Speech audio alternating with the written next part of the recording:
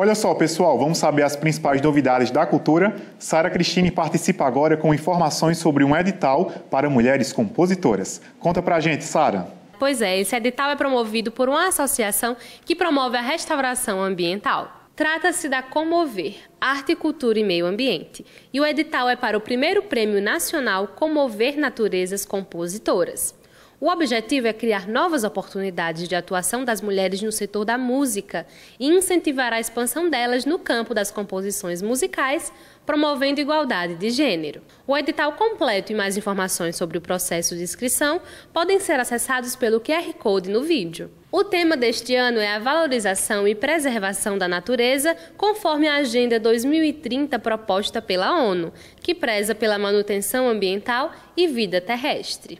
As inscrições ficam abertas até o dia 8 de julho.